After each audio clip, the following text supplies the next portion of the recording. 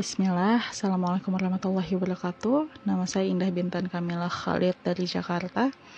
Saya mendukung Muhammad Qasim bin Abdul Karim dari Pakistan. Dan saya meyakini bahwa mimpi-mimpinya adalah benar datangnya dari Allah Subhanahu wa Ta'ala, yakni disebut sebagai Al-Mubashirat. Apa itu Al-Mubashirat? Yaitu adalah Arru'iyatus Sadiqah, mimpi-mimpi yang benar yang diperlihatkan Allah kepada hambanya uh, keyakinan ini dimulai dari uh, tahun 2018 menuju 2019 saat itu saya uh, menemukan salah satu komentar netizen pada kolom komentar Instagram yang di mana saat itu memang saya sedang uh, sering-seringnya menyimak kajian tausiah tausiah ustadz-ustadz mengenai akhir zaman. Karena saya sendiri menunggu masa-masa itu yang telah saya perhitungkan memang eh, masa-masa itu akan terjadi di sebelum tahun-tahun 2024 ini. Hmm, tapi saat itu saya mengabaikan. Komen, di komentar itu mengatakan bahwa Muhammad Qasim yang akan menjadi Imam Mahdi. Di saat itu saya berpikir uh, siapa lagi ini Muhammad Qasim? Sudah disebut-sebut sebagai Imam Mahdi. Saya hanya berpikiran bahwa kalau saya mungkin akan mengimani Imam Mahdi kalau ia sudah dibaiat saja begitu. Hmm, tapi hati saya tergerak untuk mencari tahu uh, lebih lanjut Padahal saat itu saya sudah mengabaikan komentar itu, saya skip-skip begitu saja.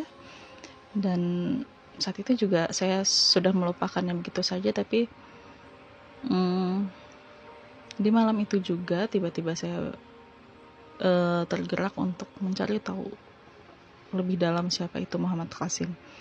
Kemudian saya mencari informasi melalui internet dan muncullah YouTube-YouTube video-video mimpi-mimpi Muhammad Qasim.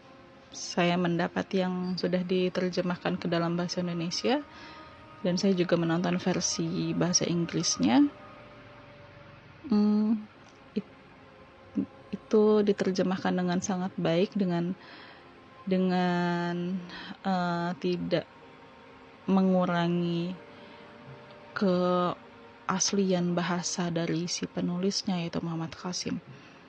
Nah, itulah yang membuat uh, kesan saya tidak ada kesan negatifnya sama sekali karena saya mendapati uh, tutur katanya Muhammad Qasim ini adalah santun sekali gitu uh, dan tutur kata orang-orang yang sangat memegang tauhid gitu hmm, bahkan yang tadinya saya menduga kalau dia mengaku sebagai Imam Mahdi uh, langsung terjawab sekaligus dari video-video tersebut uh, dengan sekali tonton. Saya sekali tonton sekaligus saya menonton banyak beberapa videonya.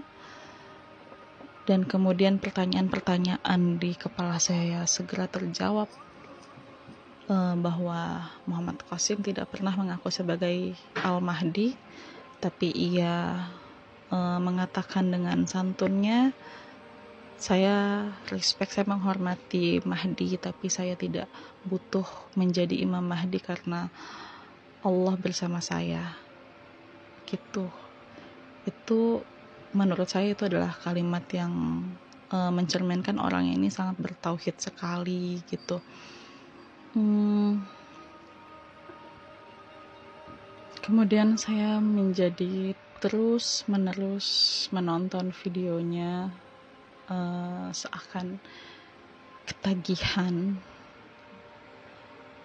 Ketagihan karena uh, sepertinya eh, pertanyaan-pertanyaan dan pencarian-pencarian jawaban saya selama ini tuh uh, seumpama dahaga yang telah menemukan oasenya gitu dan bahkan uh, kajian yang saya ikuti secara sistematis pun banyak membahas uh, masalah bab-bab tauhid uh, itu sama seperti apa yang disampaikan Muhammad Qasim uh, mengenai larangan gambar makhluk hidup.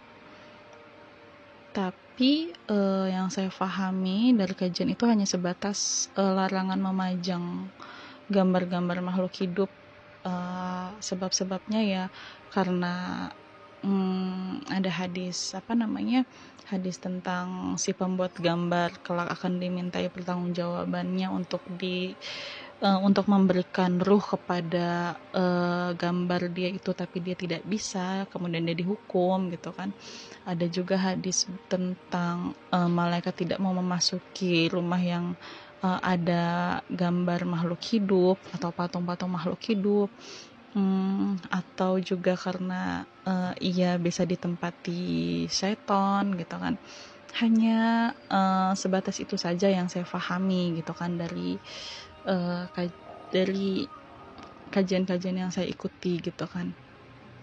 Uh, tapi di di dakwahnya Muhammad Qasim ini justru jelas sekali bahwa ini adalah termasuk syirik uh, karena di zaman modern ini hal ini adalah sudah dianggap biasa gitu kan. Di sosial media misalnya kita memajang foto uh, makhluk hidup di hmm, display picture uh, pada wallpaper HP, lap uh, atau laptop, hmm, itu juga kategorinya memajang gitu. Jadi itu memang uh, sudah uh, kompleks sekali di zaman modern ini gitu kan. Hmm, dan ternyata itu uh, termasuk dari kesyirikan. Dan kalau orang-orang pun banyak yang menyangkal bahwa itu bukan syirik karena kita kan tetap menyembah Allah uh, kita kan uh, menggunakan foto itu bukan untuk disembah jadi itu bukan syirik ya banyak sekali yang uh, menyangkal dengan kalimat-kalimat seperti itu yang di mana sebenarnya orang-orang uh, jahiliyah dulu yang mereka menyembah berhala pun mereka juga uh, berargumentasi dengan kalimat yang semacam itu gitu. Mereka bilang ah, kami tidak merubah ajarannya Nabi Ibrahim gitu kan. Kami tetap menyembah kami tetap meminta kepada Allah hanya saja patung-patung ini hanya untuk uh, apa yang bisa mereka lihat uh, untuk mereka perantarakan seperti itu kan uh, dari zon-zon mereka yang berlebihan. Nah jadi uh, pada zaman modern ini pun foto-foto tersebut uh, juga sudah biasa dianggap sebagai ada yang menganggapnya sebagai tawasul gitu kan uh, ke, jika mereka memajang foto-fotonya orang alim ada juga uh, yang memajang foto-foto pribadinya sendiri sebagai kebanggaan-kebanggaan. Ya jadi itu semua memang relate sekali dengan kehidupan di zaman modern ini dan uh, sangat cocok jika memang uh, kasih mengatakan itu adalah syirik ya memang semua wulu semua uh, taklid semua ria itu memang mengarahnya kan kepada syirik gitu. Hmm, terus dari uh, kajian sistematis yang saya ikuti saat itu setelah pembahasannya bab tauhid ya, kemudian itu juga uh, berlanjut kepada eh, tanda-tanda uh, akhir zaman, tanda-tanda kebangkitan Islam. Hmm, yang terakhir itu adalah 1924 yaitu runtuhnya kekhalifahan Utsmaniyah. Maka dari tahun itu dan merujuk kepada hadis tentang uh, kekhilafahan atau mujadid itu dipergilirkan setiap 100 tahun sekali jadi dari tahun terakhir 1924 dan saya memperhitungkan 100 tahun kemudiannya itu adalah 2024 dan saya sudah lama menanti-nanti uh, dan mengamati tanda-tanda alam ada apa apa yang akan terjadi sebelum tahun 2024 karena hmm, pasti sebelum kejadian puncaknya di 2024 sebelum keberhasilan puncaknya pasti akan ada proses-prosesnya menuju itu gitu kan. Dan uh, ini seperti pertanyaan saya dalam sepanjang hidup saya yang terjawab sekali di dalam mimpi-mimpinya Muhammad Qasim ini gitu kan. Kita jadi tahu gimana nanti uh, apa kejadiannya kronologinya dan bahkan ini seperti kita tuh dikasih spoilernya gitu kan. Spoiler kronologi kejadian-kejadian akhir zaman.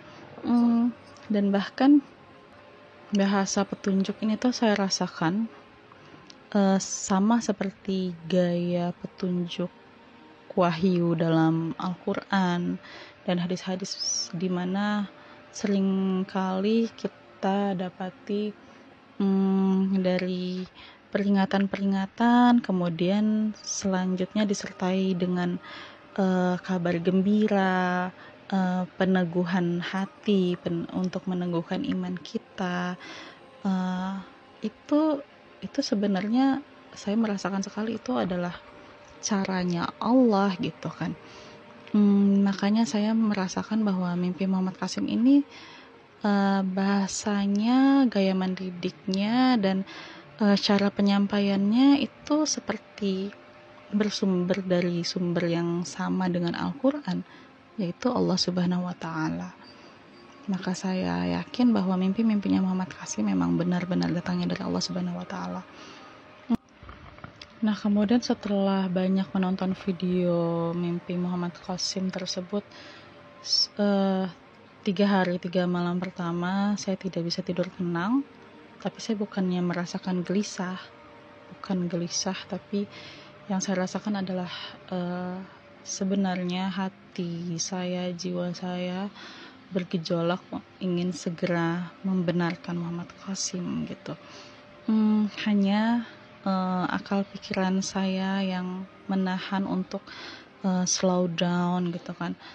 Uh, untuk berhati-hati karena saya memang sebelumnya tipikal orang yang tidak mudah uh, tidak mudah menerima berita apalagi sampai menyebarkan uh, sesuatu berita yang baru saya dapati yang belum yang belum diteliti lama. Yang saya takutnya itu terjatuh kepada hoax. Uh, saya ingin mengabaikan saya ingin uh, bersabar gitu kan bu. Uh, bersabar untuk uh, santai dalam membaca petunjuk Allah gitu kan. Tapi uh, tidak tenangnya itu karena hati saya sudah bergejolak rasanya ingin buru-buru menemui Muhammad Qasim. Rasanya tuh seperti itu. Januari 2019 saya mulai uh, aktif membantu menyebarkan mimpi-mimpinya Muhammad Qasim.